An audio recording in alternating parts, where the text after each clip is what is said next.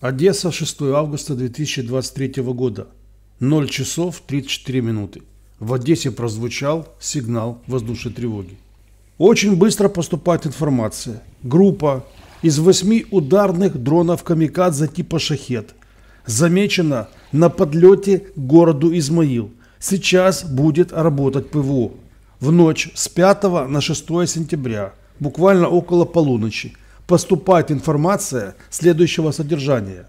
Фиксируются взлеты 8 стратегических бомбардировщиков Ту-95МС с аэродрома Оленья. Держит курс в сторону Каспийского моря. Возможный подлет к боевым рубежам пуска 3-4 часа ночи. Если с самолетов Ту-95 будут пуски ракет из района Каспийского моря с боевых рубежей, то, скорее всего, ракеты зайдут в воздушное пространство Украины 4.30, 5.30 утра.